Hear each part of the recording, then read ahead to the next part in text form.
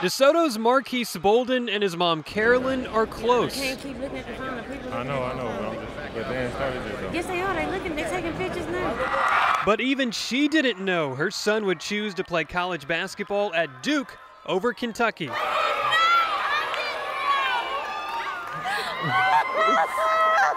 It wasn't my goal to like keep her outside of the decision, but I mean, I was really making the decision for me, and so I really just wanted to uh, be on my, be by myself on this one. So if it didn't work out, I had nobody to blame. No one will blame the nation's number one center for choosing the Blue Devils, I'm just happy, y'all. especially his mom. The rich just got richer with Marques signing today. There'll be four five-star players playing for the Duke Blue Devils next season. Marques thinks it's the best place for him. The deciding factor was really the, the relationships I had with the coaching staff. I mean, I have been talking to plenty of coaches over the past years, and I mean, I just felt uh, best at home with the University of Duke's coaching staff. And with the blue and black Duke shoes, Marques will be styling and smiling in North Carolina. Evan Nemec, CBS 11 Sports.